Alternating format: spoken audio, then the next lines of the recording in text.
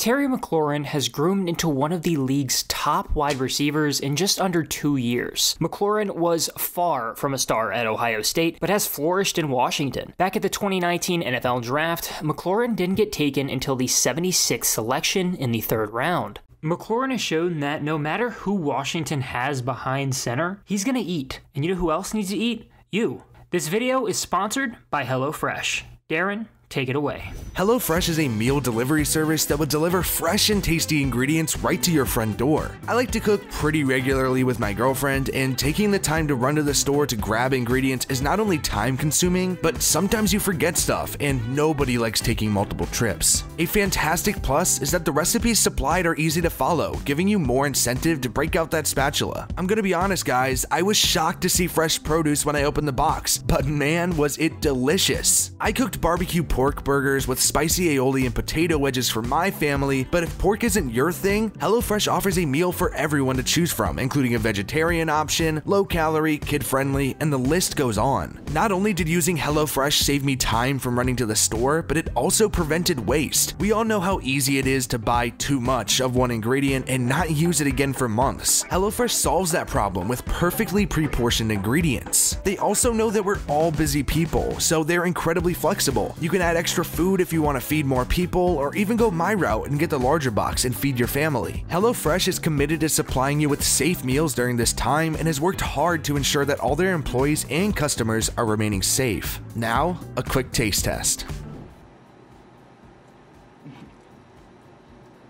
It was juicy. That burger was fantastic, and the family agrees. If you want fresh, delicious ingredients delivered to your front door, go to HelloFresh.com and use our code JDProd80 to get $80 off across five boxes, including free shipping on your first box. Thanks, HelloFresh, for the meal, and let's get right back to the video. Let's take a fast look at how Terry McLaurin has risen to NFL superstardom. Terry McLaurin was born on September 15, 1995, in Indianapolis, Indiana. McLaurin attended Cathedral High School where he won Indiana's Mr. Football Award in 2013. Coming out of high school, McLaurin was considered a four star recruit and was the number 36 wide receiver in the country. He committed to play college football at Ohio State University. McLaurin appeared in six games as a freshman, but didn't record a single catch. He played a minimal role as a sophomore with 114 yards and two touchdowns. McLaurin was an Ohio State team captain for the next two years, though, improving as a junior with 436 yards and six touchdowns before having the best year of his collegiate career as a senior with 701 yards and 11 touchdowns. McLaurin showed that he was a fantastic route runner, displaying that once again at the Senior Bowl. That route running talent has certainly translated into the pros, easily the biggest reason for his success in the league. At the 2019 NFL Draft, the Washington Redskins selected McLaurin with the 76th pick in the third round. The pick was made after Washington took McLaurin's college quarterback, Dwayne Haskins, who was taken 15th in the same draft. Haskins hasn't exactly worked out, but he did steer the organization in the right direction, taking McLaurin. McLaurin was hyped up all training camp and given the nickname Scary Terry, and boy did he deliver. I personally worked that training camp and I got to see Terry McLaurin every single day. I even got to write a story on him after I got to talk to him one on one. A lot of people could already tell that McLaurin was going to be a star just in training camp, and boy, we did not know what was about to happen next. McLaurin went on to lead all rookies with 65.6 receiving yards per game, finishing the year with 919 yards and 7 touchdowns in 14 games. He was named to the PFWA All Rookie team. This season, McLaurin has built on that, being one of the top receivers in the league statistically with 963 yards and 3 touchdowns in only 11 games. Washington has been a mess behind center, with McLaurin having to play under four different passers already in his young career, something other receivers in his class haven't been plagued with. Despite that, McLaurin has still emerged as a top receiver, but how about wideouts taken before him? With the 25th overall pick at the 2019 NFL Draft, the Baltimore Ravens selected Oklahoma's Marquise Brown. Brown didn't get any Division I attention in high school, leading to him going to community college. After one season, he transferred to Oklahoma, where he went for over 1,000 yards in his only two years with the Sooners. He was named first team All Big 12 as a junior before he decided to declare for the NFL Draft. Now, Now, there were plenty of worries about his durability and small stature from scouts, but his speed and skill were definitely present in college. Brown went on to have a good rookie campaign with 584 yards and 7 touchdowns, playing a role in Lamar Jackson's breakout MVP year. Through 10 games in 2020, Brown has recorded 431 yards and 2 touchdowns. The New England Patriots owned the 32nd selection where they took Arizona State's N'Keal Harry. Harry dealt with an injury early in his pro career before finally returning to the field and, well, disappointing. He had only 105 yards and two touchdowns on the year. He has improved this season, but it's been far from impressive. Harry has 213 yards and a touchdown in nine games. 36th overall in the second round, the San Francisco 49ers drafted South Carolina's Deebo Samuel. Samuel came out of South Carolina after being named first team All SEC one year removed from a season ending foot injury. Samuel was great when on the field and showed the ability to be a pro receiver, but injury concerns worried many. He had a good first year in San Francisco, recording 802 yards and three touchdowns en route to helping the 49ers to the Super Bowl. He also owns the bizarre record for most rushing yards in the Super Bowl as a wide receiver with 52. Samuel Howes dealt with some injury in 2020, playing in only five games with 318 yards and a touchdown.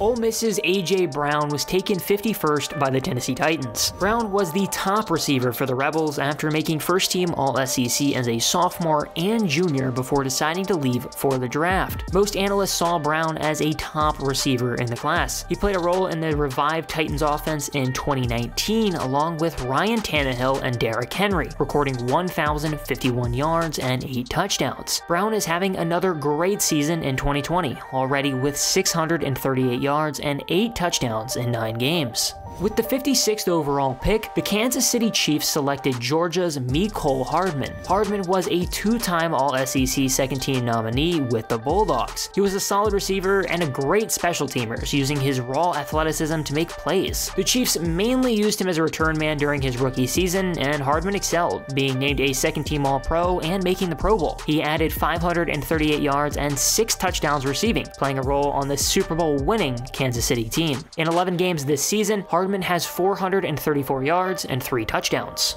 The Philadelphia Eagles own the 57th selection where they took Stanford's J.J. Arcega-Whiteside. Arcega-Whiteside had over 1,000 yards en route to being named second team All Pac-12 as a junior. He was expected to be a 50-50 ball receiver in the pros, but it's safe to say that he hasn't impressed. The Eagles missed on a draft pick. Shocking. Shocking. Arcega-Whiteside played in every game as a rookie, recording only 169 yards and a touchdown. Now he's on the COVID-19 list in 2020 after playing in seven games with only two catches for 45 yards. 59th overall, the Indianapolis Colts drafted Ohio State's Parris Campbell. Campbell was a three-time All-Big Ten member, showcasing his speed before making the jump to the pros. His time in the pros has been as unfortunate as it gets. The reality is that we still don't even know what Campbell is. He had a broken foot, sports hernia, and a broken hand as a rookie, limiting him to 127 yards and a touchdown. He started 2020 with 71 yards in two games before he suffered a PCL and MCL injury that has landed him on injured reserve. UMass's Andy Isabella was taken 62nd by the Arizona Cardinals. Isabella led the nation with 141 and a half yards per game as a senior at UMass, being rated as the top wide receiver in college football by Pro Football Focus. Isabella was seen as a speedster coming out of college, but many worried about how he didn't have to play any higher level teams at UMass. He played a minimal role as a rookie for the Cardinals, recording just 189 yards and a touchdown. Isabella has had a slight increase in workload in 2020 with 217 yards and two touchdowns through 11 games.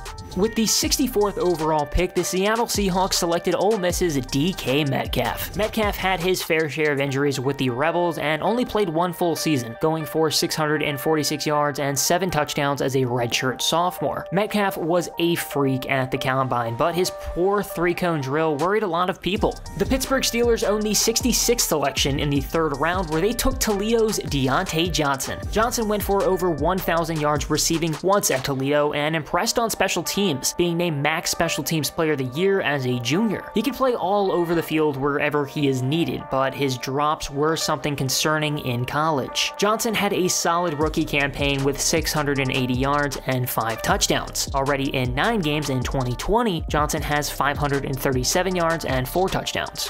67th overall, the San Francisco 49ers drafted Baylor's Jalen Hurd. Hurd only played one season at Baylor after transferring from Tennessee, being named Big 12 Offensive Newcomer of the Year as a senior. Hurd was an offensive weapon in college, sometimes even playing running back. His switch to the pros has been rough, to say the least. He didn't play as a rookie due to a back injury, and after recovering from the injury, he tore his ACL this offseason that will keep him out of this season.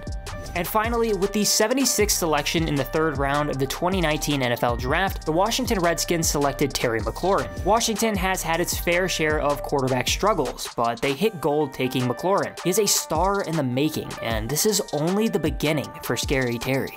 Thanks for watching. Follow us on Instagram and Twitter for more J&D. We read all of our DMs and love hearing what you have to say.